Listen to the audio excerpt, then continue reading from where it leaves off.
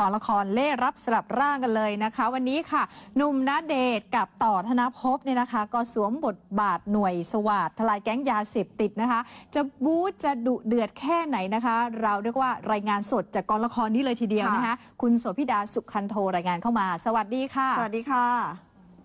คุณแหม่มคุณสายฝนคะ ตอนนี้ดิฉันอยู่ที่กองละครเล่ลับสลับร่างค่ะ วันนี้กองถ่ายยกกองมาถ่ายทำฉากคิวบูของน้องณเดชน์คุกิมิยะนะคะ ซึ่งณเดชน์เนี่ยรับบทบาทเป็นผู้กองรามิน ส่วนน้องต่อธนภพรับบทบาทเป็นหมวดอาคมค่ะ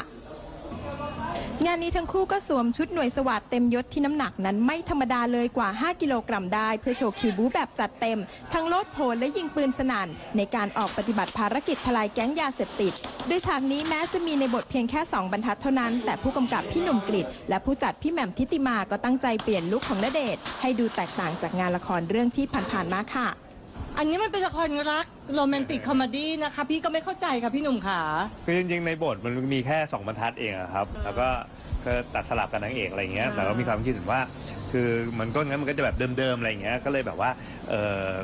ก็ปรึกษาพี่แหม่มอะไรเงี้ยก็อยากได้อะไรที่มันดูดูแปลกใหม่ดูที่แบบว่าเออจริงจังขึ้นอะไรเงี้ยเพื่อที่จะได้แบบเออเดี๋ยวตอนยาย่ากลับมาอยู่ในร่างผู้ชายยาย่าก็จะต้องบู๊แบบนี้อะไรเงี้ยว่า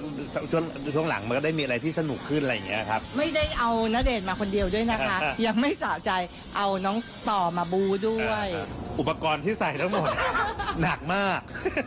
ไม่ว่าจะหมวกไม่ว่าจะปืนว่าอะไรทั้งเป็สิ้น นอุปสรรคกับการแสดงการแสดงมากหนักแต่ว่ามาก เราชอบฝ่ายคอสตูมแล้วฝ่ายพี่ชอบมากเพราะมันดูแบบอื้อหือแบบ แมนมากอะไรมาก ถ้าถ้าไม่เปลี่ยนเป็นทางด้านทหารก็อาจจะเปลี่ยนตอนช่วงที่สลับร่างกับยาย่าแล้วไม่ยอมกลับ ตอนนี้พี่กคือลัวจริงๆนมาก คือจริงๆมันต้องแบบสุดกู่ไงคือแบบว่าอ่าไปแมนสุดกู่อืมกับสาวสุดกู่มีสองอย่างสองอย่าง ตอนเนี้ยพี่บอกแล้วว่าให้ถ่ายได้แมนผ่านแมนผ่านแล้วแมนผ่านแล้วตอนนี้แมนผ่านแล้วใช่ตอนนี้อยู่ร่างสาว แต่ที่เป็นห่วงคือให้ถ่ายแค่ 6 เดือนนะ เพราะว่าถ้าเกิน 6 เดือนเนี่ยกลัวสิงแล้วไม่ยอมกลับ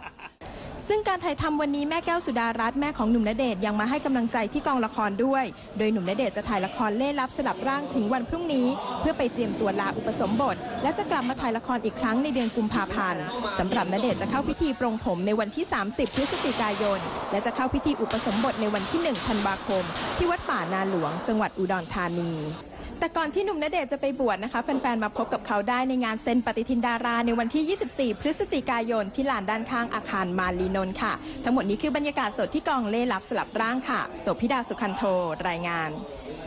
ค่ะอืมขอบคุณมากนะคะอะถ้าอยากจะมาเจอแบรี่นะคะ ค่ะ วันที่ 24 นะคะ ก็มาพบกันได้ พร้อมครั้งนำปฏิทินของช่องสามมาด้วยนะคะ ค่ะ นอกจากนั้นเดชน์แล้วมีอีกหลายคนเลยใช่ ค่ะ มาดูกันว่าจะมีใครบ้างในวันนั้นนะคะ